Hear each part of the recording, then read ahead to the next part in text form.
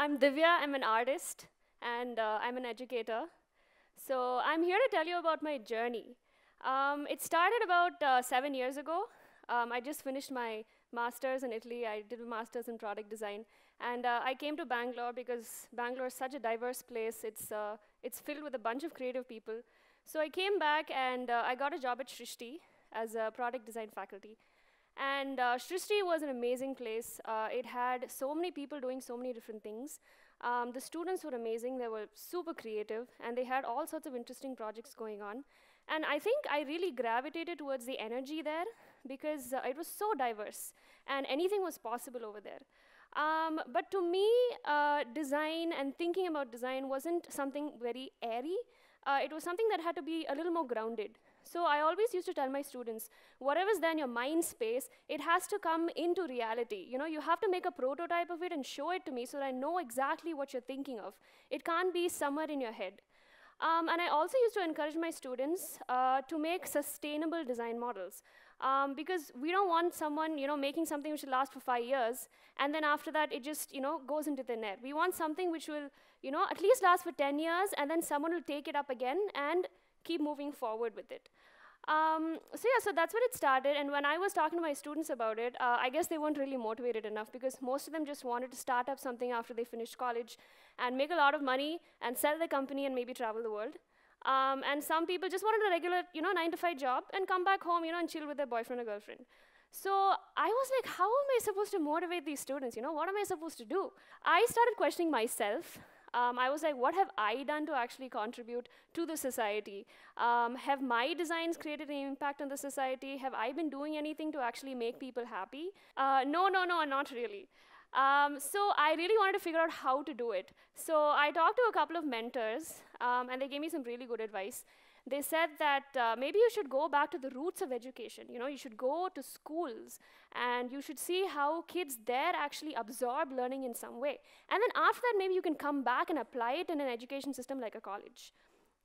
So I traveled to about uh, five places all around India, and they were specifically chosen because they had sustainable educational models, and they were also present in rural areas. Um, so these were amazing places. Uh, for example, Kalkeri, which is then Hubli, was a magnanimous place which started just for art and music.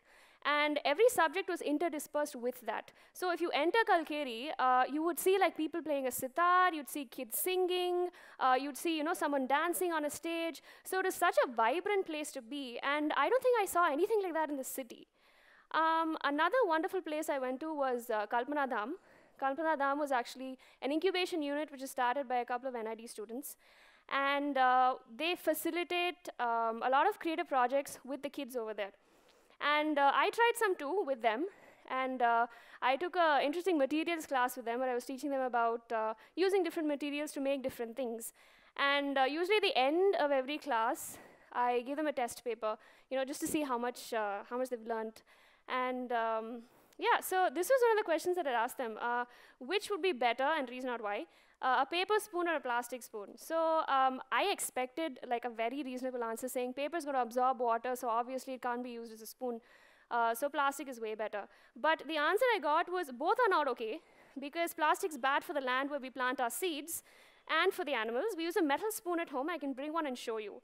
So when I saw that, I'm like, wow, this is amazing. I mean, look at the breadth of thought, look at the depth of thought from a kid who was in a rural space. So this kid has not got any exposure like us. He's not been to like different countries. He's not got the care and comfort that we get in the city. You know, so I was, I was, uh, I was blown away. And there was another project which I gave the kids. Um, it was about making a toy with uh, a bunch of materials. So we gave them rubber, we gave them string, we gave them wood, we gave them metal wires, we gave them a bunch of things. And we were like, hey, make whatever you want, using whatever mechanism you want. And this is one of the results I got from one of the kids who was 15. So what he did was, he took a wooden block and he drilled holes in it. Okay, the bottom part was completely string, and the top part was metal wire. Now, I was like, what is this? Why are you giving me a lump of something which doesn't even make sense to me? And he was like, pull the string in the bottom. So I pulled it. And as soon as I pulled it, the top completely sprung up and it started looking like an animal. So I was like, wow, this is an amazing thought process for a kid who's just 15 years old. You know, so I was, I was amazed by this and I was like, hey, I need to bring back all of this to the city, you know, I need to do that some way. And I need to bring back all the city had to offer to the rural areas. I wanted to create some kind of bridge. So I went back to Bangalore and I started a bunch of wall projects with a bunch of schools. Um, so we used to do collaborative projects. So I used to call in an artist from a rural area. The kids used to work with the artist. They used to make a wall mural together with the teachers. So the kids also got a lot of perspective. There was so much of conversation going on. And at the same time, the artist also got a really nice market space because there were so many people who wanted to buy his, uh, his work. So I think all these wall projects uh, started, uh, it, it kind of started going viral at a point of time because I kept putting it up on Facebook. And finally, everyone was like, why don't you do wall projects in my house? Why don't you do it in my cafe? Why are you just restricting it to schools? So um, that's when I put out a public statement saying, hey, I'm doing all these wall projects. Why don't you let me know if I can come home and I can, I can do something for you? Um, and this was also a great time when I could make conversation with the people and tell them about my vision, about trying to bridge the rural and the urban area.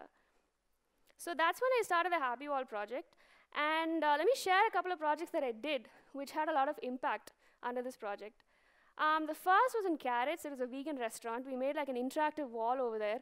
Um, it said, I tried vegan and I liked it. So the next day, we got a lot of people taking selfies with the wall. Um, so it was a great marketing campaign for them. And uh, I also met a chef over there who said it would be awesome to take uh, cooking classes for the kids. So we did that a week later with a bunch of kids as an after-school session. That was a lot of fun. Um, I also worked with a graffiti artist um, in a gym at Yelahanka. Um, and it was really interesting because a graffiti artist has been working in this field for like about 10 years, and I don't think anyone even knew about him. So it was awesome working with him, and even we went back to a school and we did like a small graffiti workshop for the kids over there, which they enjoyed a lot.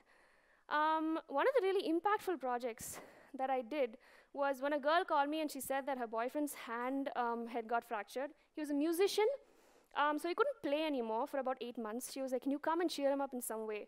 So I went to his house, we had a lot of conversation. Finally, we decided that we can put up the lyrics of one of his songs on the wall. Um, and it, it was great. I mean, he was really happy at the end of it all. But uh, I got a call a couple of weeks after that from his girlfriend saying that he's actually waking up every morning and getting super inspired and writing music again. So I was like, hey, I mean, like, I think art can be beyond a simple campaign or beyond a simple marketing tactic, but can actually create impact and move people in some way. So right after this project, things went totally viral. And uh, I was called by Teach for India to do a couple of their schools. So this was the Ariyanar Anna School in Chennai. Uh, it's right next to Besant Nagar Beach. Um, this was a huge wall. Uh, it was it was extremely big, and I had to literally divide the wall into like 10 sections for different artists to work on. So I was this was all collaborative. I was calling people. I was saying, "Hey, I'm doing these walls. Why don't you come and join me?"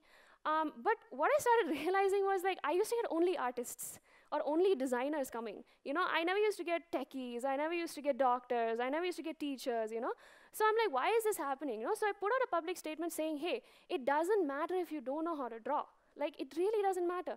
All you have to do is come and write something or draw something on the wall which you can connect with in some way. That's all I want. I don't want anything else. So after I started doing that, I started getting a lot of different diverse kind of people coming in.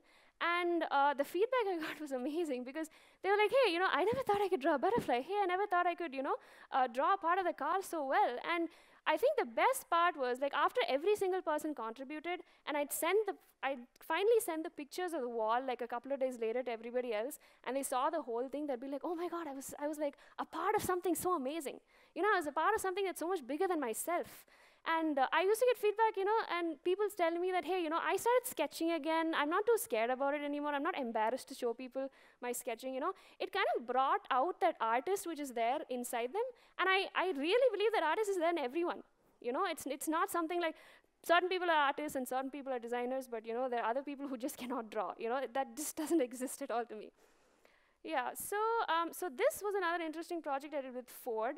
Um, they have a CSR initiative where they adopt schools. Um, so we did a thematic um, work on the school where you know we talked about saving water, we talked about transportation, we talked about vegetables and various things that the kids were learning at that point of time. And I think we had about 100 volunteers who'd come to help us. We finished the entire school in four hours. I think that was like the fastest project we ever did. And everyone was like amazingly happy about it. So this was like a really cool auto that we did.